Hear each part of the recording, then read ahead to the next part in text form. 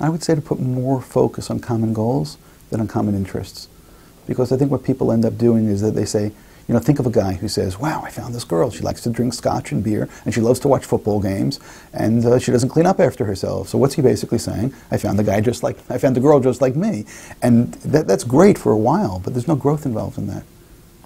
Gro- growth means that there's something else. And I would say common goals, that what I want to try to build together, what I want to try to accomplish in my life, the kind of life I want to have, the kind of family I want to have, and somebody else who has similar common goals, that's the person to make the commitment to. Not the, you can always go to football games with your friends.